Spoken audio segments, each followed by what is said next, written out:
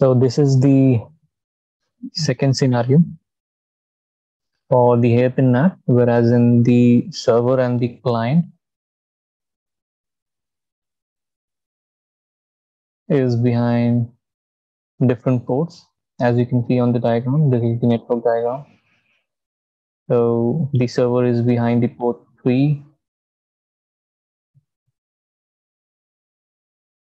Clients are behind port 1. Port 2 is actually connected to the internet from where the external client will access the server using the public IP. So the public IP is 14.140.40.108 configured on port 2, which will then get translated to the server IP 192.168.137.132. So the idea behind the hairpin is to allow access to the server only to the configuration and looking at the direction of the traffic flow makes it uh, NAT. Let's try to configure this on the FortiGate firewall. By the way, the configuration that I've shared here may not work on the older version of the FortiGate firewall, which is below 640. So this was tested above all the versions 700, 702, 704, Okay, so as you can see, as for the diagram, we have three interfaces. Port 3 is where the server is. Port 1 connects to the client and port 2 is actual internet interface. So first of all, we will have to create a VIP object so I guess I already have the configuration. I'll try to delete the existing configuration.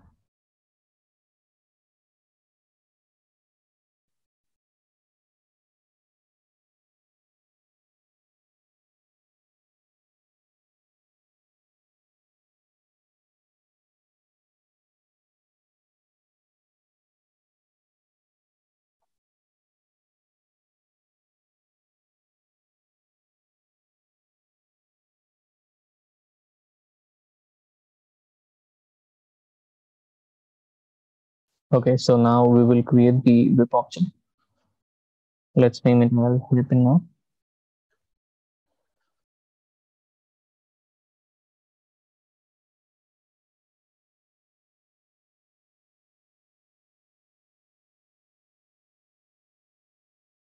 And I'm not selecting any interface. I'm keeping it to any and then static NAT external IP is going to be um, IP address on port 2 14140 4108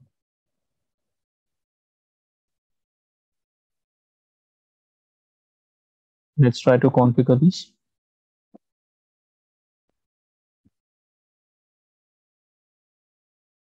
Now I'll try to enter the server IP.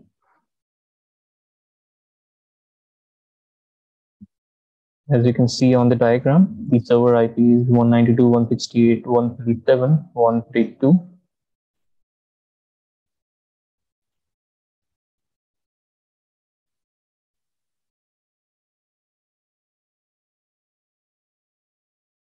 This is the actual server IP internal to the network, which is behind port P.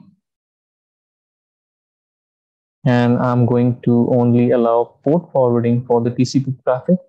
External port is going to be one, two, three, four, five. And internal port is going to be the actual SSH port. You can configure this object as per your network requirement. So now that we have the VIP objects configured, we'll go back to the firewall policy. And we'll try to create the allow policy for the normal internet connectivity for the normal internet access, which means uh, anybody from internet can access the server to this IP address. So let's try to configure that.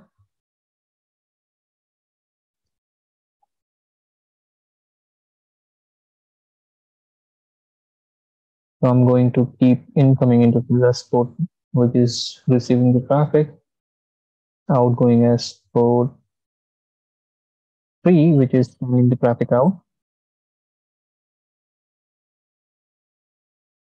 I'm going to keep the source as any for now, but you can filter it out as per your network requirement. Destination is going to be the NAT object that we have created. As you can see on the screen, 14.140.4108 will be translated to the actual IP address of the server 192.168.137.132. For on the port 22, external mapping is 12345.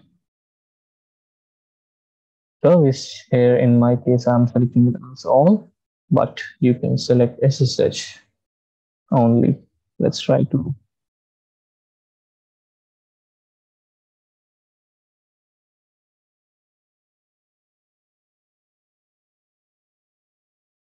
and I am enabling the node so that I do not have any issues with the reverse traffic coming back to the firewall. Not necessarily required, but then I am doing the NAT, source NAT NAT as well. Click OK.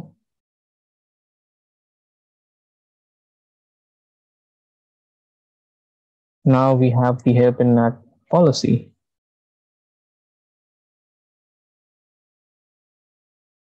or allowing the traffic from the internet towards the server.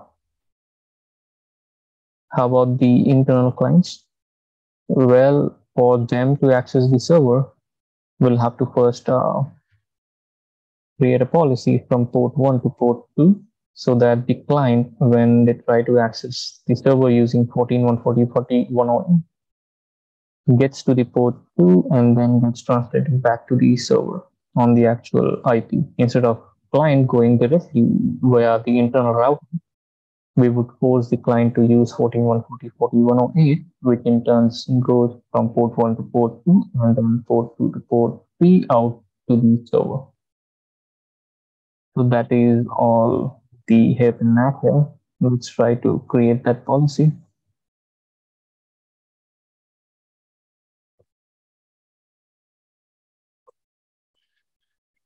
So this is allow internal. Port is going to be port one, which connects our clients in the network 10.10.10.0. Outgoing is going to be the port two, where our public IP is configured, which will be used by the client to access the server. Source is going to be any. This meeting is going to be any my case and I'm allowing only SSH and I'm doing the NAT but no need of that your network is designed properly.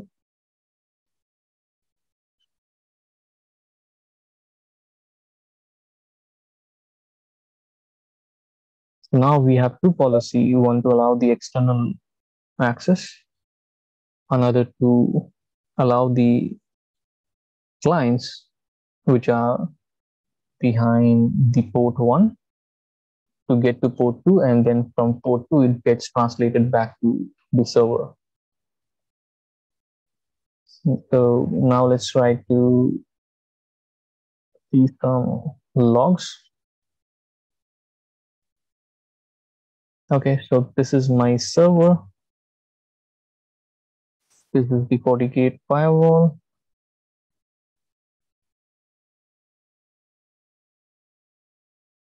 And past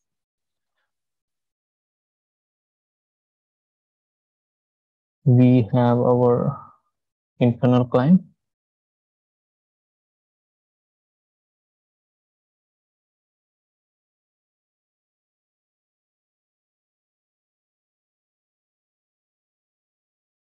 Okay, as you can see, the internal client will access the server using the IP address 14.140.4108 on port 12345.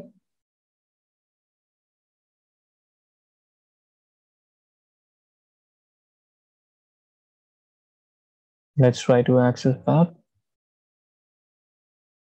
And at the same time, what I can do is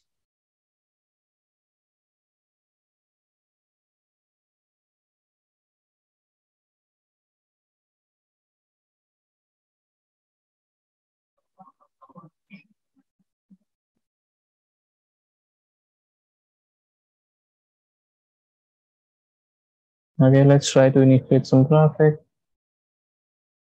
And let's see if we have anything here.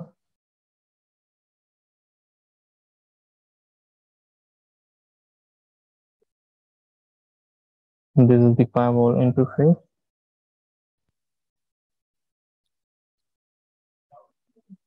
Seems pretty slow.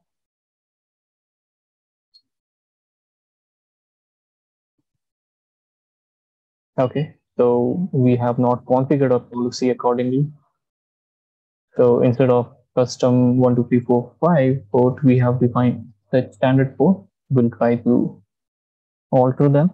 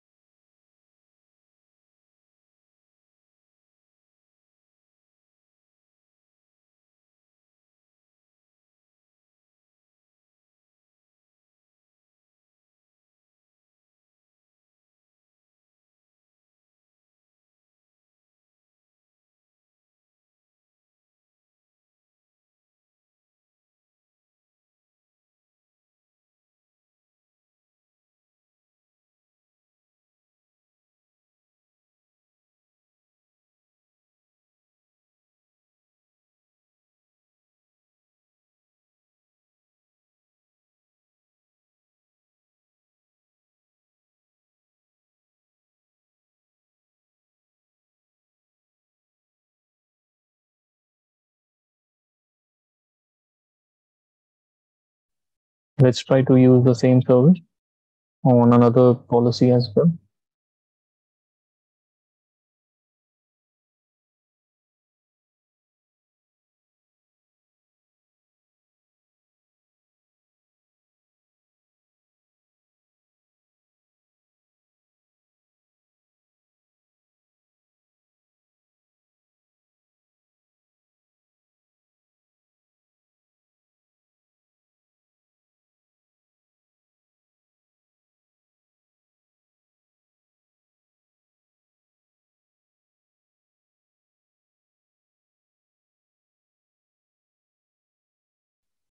Now let's try to test the connection from the internal client.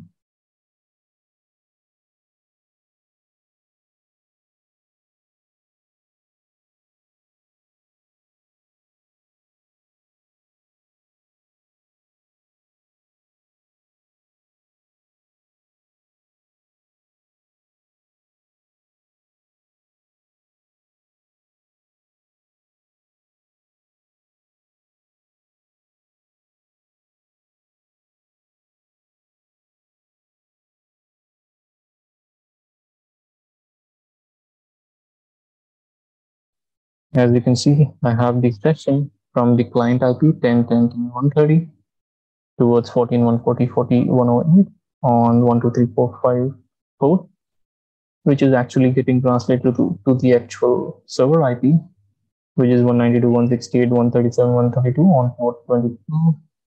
And since we have the source translation enabled as well, this IP will then get translated to the exit interface IP which is our food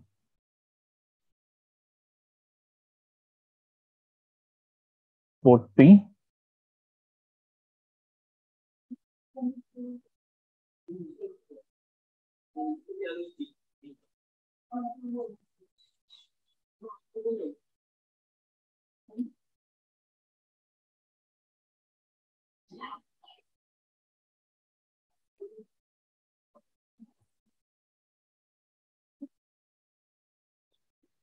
This is the actual server IP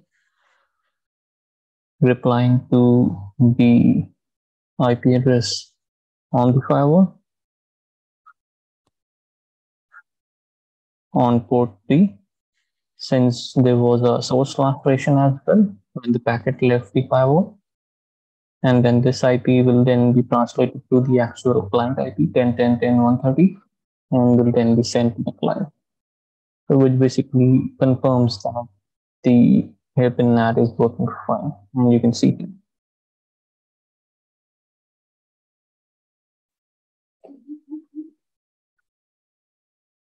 So you can see here